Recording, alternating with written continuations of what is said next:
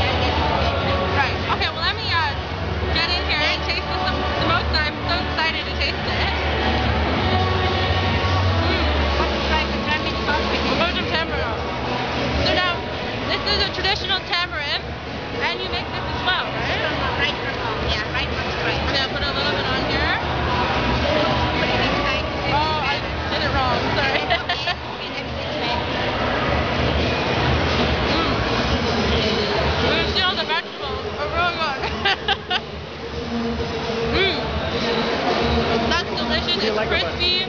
I really, really like it. It's a nice texture and it tastes very fresh. You can tell that it's homemade. It makes a really big difference. So thank you so much. Where um, so where can we find you if I want to have I you? Can, I can make it right up there. Um, and actually says two phone calls myself yep. and Rachel. Okay. My uh, manager. And will you be at the Underground Market again? Hopefully next week, next month. Next month. Okay. Well, we know.